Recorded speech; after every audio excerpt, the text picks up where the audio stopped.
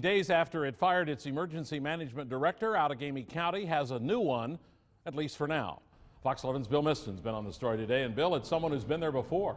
That's right, Tom. 36-year-old Christina Muller served as the head of the department from 2006 until 2012.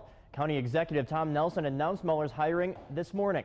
Muller is taking over for Julie Loeffelholz. She was fired on Monday. Muller says she has no plans on changing the department, but is only working to ensure things like sirens and other disaster services are in proper working order.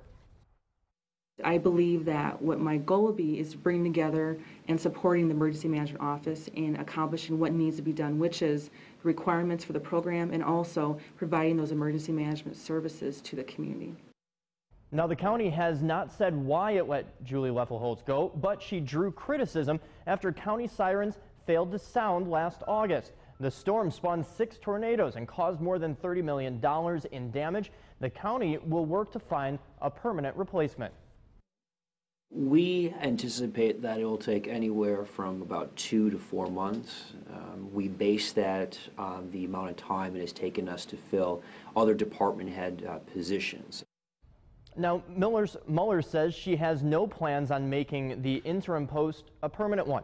I spoke with Loeffelholz on the phone this afternoon asking about her take on the situation.